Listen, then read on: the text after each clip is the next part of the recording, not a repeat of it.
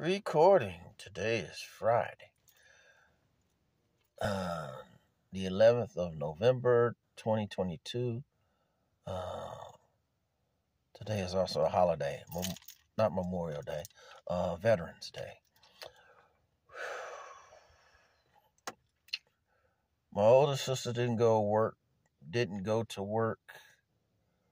Uh, actually, three days. She was, she didn't go Monday. That's when she was really sick. Then she tried to go Tuesday, but she called me and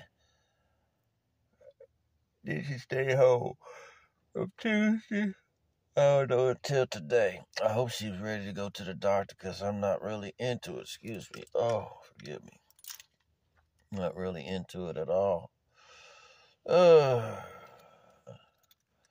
and I know she needs to go and take care of her health issues and make sure she's okay from the top of her head to the bottom of her foot.